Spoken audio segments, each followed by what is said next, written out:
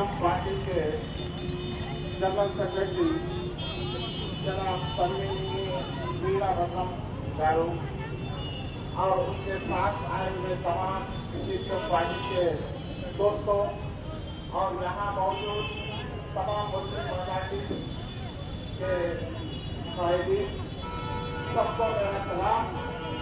मैं मस्जिद बचाओ शहीद की जानब से जनाब वीरभद्रम साहब का यहाँ पर मकदम करता हूँ। और मैं उनका बहुत शुक्रगुजार हूँ कि उन्होंने तेलंगाना के तमाम मुसलमानों के लिए और तमाम जो है बीसी एससी के लिए इतनी बड़ी रैली निकाली। इतनी ज़्यादा पदयात्रा करते हुए एक हज़ार तीन सौ साठ किलोमीटर का रास्ता तय करते हुए वो यहाँ पहुँचे हैं। हम तमाम जानब से उनका खैर वर्तन करते हैं। और दोस्तों, इस मुल्क में चाहे नरेंद्र मोदी की सरकार हो, चाहे केसीआर की सरकार हो वो इस मुल्क के इस देश के गरीबों को इस देश के माइनॉरिटी को धोखा दे रहे हैं सभी दौड़ बन करके वो यहाँ के सारे आवाम को परेशान कर रहे हैं और कभी ये झूठ बोलकर उन्होंने वो तहसील किया कि पंद्रह लाख रुपये आपके खाते में मैं जमा करा दूँगा काला धन लाऊँगा कहाँ है काला धन कहाँ है पंद्रह लाख रुपये नरेंद्र मोदी बताओ क्यों उससे लोगों को तुम धोखा दे रहे हो पाँच सौ हज़ार की नोट तुमने बनी थी अच्छा लेकिन अगर तुमने मोदी पाँच हज़ार के होते और बैंकों को बेचते होते तो आज हज़ारों लाखों करोड़ों हिंदुस्तानी बैंकों के सामने लाइन खड़े हैं कई लोग मर जा रहे हैं कई लोग जो है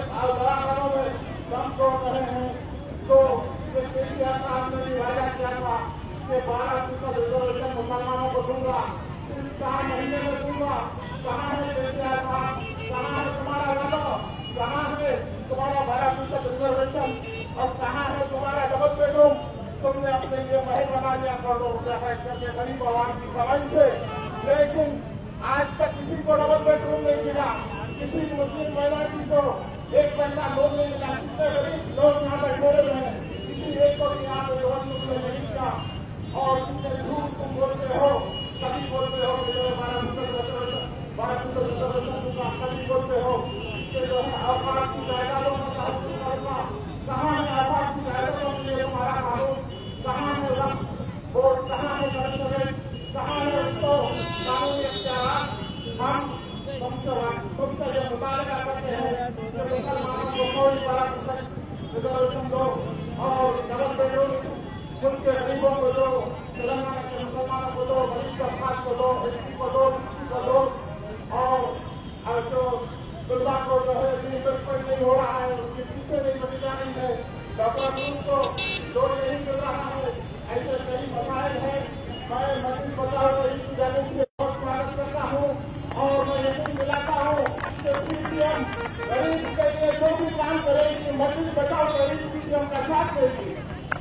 रिजर्वेशन नहीं मिलेगा मैं शहीद की जानब से तमाम मुसलमानों की जानब से, ये कहना चाहता हूँ कि हम आपके साथ हैं। आप विजय कीजिए हम आपका साथ देंगे। इस गरीब, इस मुल्क में हम ये मौका नहीं दे सकते कि नरेंद्र मोदी गरीबों को धोखा दे, मुसलमानों को धोखा दे, और केसीआर साहब मुसलमानों को धोखा दे, गरीबों को धोखा दे, हम ये बर्दाश्त नहीं कर सकते। हम सीपीआई के दोस्तों के साथ में है। मस्जिद बचाओ शहीद मुसलमानों के लिए किए जाने वाले गरीबों के लिए काम किए जाने वाले सरकार के लिए किया जाने वाला हर कोई अच्छा काम होगा नेक काम होगा हम आपके भी है और मिस्टर अब्बास साहब जो मेरा का फ़िलहाल रिजर्वेशन एक्शन कमेटी के कन्वीनर है मैं उनका और उनकी सारी टीम का वेलफेयर पार्टी ऑफ़ इंडिया की जानी से कल मैं शहर नेहरू पार्क सरकार में खत्म करता हूँ। हजरात गिरामी बंगारो तेलंगाना सुनहरी तेलंगाना हम बनाना चाहते हैं और इस तेलंगाना के लिए हमारे नौजवानों ने कुर्बानियाँ दी और माइनॉरिटी ने इसमें हिस्सा अदा किया निज़ाम कॉलेज किरण पर हमने मुसलमानों का तेलंगाना गरज न रखकर सरकारी दिल्ली की सरकार पर ये ज़ोर डाला कि मुसलमान भी तेलंगाना चाहते हैं। तेलंगाना में, आज़ादी में, तेलंगाना के हुक्म में जहाँ दीगर कम्युनिटियों का हिस्सा है, वहीं पर मुसलमानों का भी हिस्सा है, वो भी यहाँ का अटूट हिस्सा है।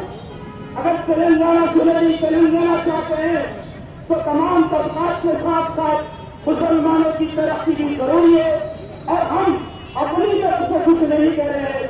वज़ीर आला आपने जो शाहनगर के जलसे में माइनॉरिटी से 2014 के इलेक्शन में ऐलान किया था कि मैं तीन महीने के अंदर दिन के अंदर बारह फ़ीसद रिजर्वेशन दूँगा।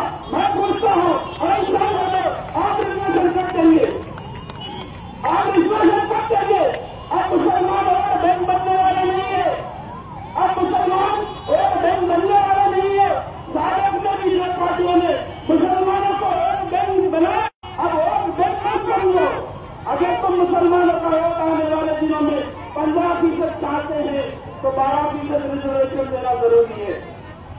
ये रिजर्वेशन इसलिए है कि तमाम तबकात चीज़ों से बराबर तरक्की के लिए, तेलंगाना की तरक्की के लिए मुसलमानों को म्यासी तौर पर, सियासी तौर पर, समाजी तौर पर, तालीमी तौर पर बराबर के हकूक मिलना ज़रूरी है। साथ ही साथ जो बजट सरकार का बनता है, वो किसी जो तो मिनिस्टर का या वज़ीर आला का बजट वो यहाँ की आवाम का बजट होता है। उनकी खून पसीने की कमाई होती है। तो उस बजट में तमाम पिछड़े तबकात को एसटी को, बीसी को, गरीबों को, मुसलमानों को बराबर का हिस्सा मिलना चाहिए। और उनकी यहाँ की आबादी के हिसाब से उनको बजट देते हुए सब प्लान जो तो मुसलमानों के लिए चाहिए। मैं डिमांड सीपीएम की कारण मीटिंग पर इस धरना करता हूँ। हजरात, बात कहने को तो बहुत कुछ है, लेकिन मैं यहाँ पर जो भी आवाम सुन रही है। मैं उनसे कहा करता हूँ कि आने वाली नस्ल के लिए आप बेहतरीन तेलंगाना चाहते हैं, सुनहरी तेलंगाना चाहते हैं। अपने नस्ल का मुस्तकबिल चाहते हैं तो रिजर्वेशन की जिद्दोजहद में शामिल हो जाइए। ये मत देखिए कि रिजर्वेशन की जिद्दोजहद कौन कर रहा है। और किसी पार्टी का इंतज़ार मत कीजिए। जो भी रिजर्वेशन की कर रहा है वेलफेयर पार्टी उसके साथ है। आप तमाम सहयोग भी इससे शरीक हो जाइए फिर एक बार यहाँ पर लेडीज़ जी के जिम्मेदारान भी है। हमारी बहन मोर्चा बेगम भी यहाँ पर है। गौर साहब भी है और दीगर लोग भी आए तो तमाम का यहाँ पर शुक्रिया। हम यही चाहते हैं कि उस वादे को पूरा करो। बहुत बहुत शुक्रिया।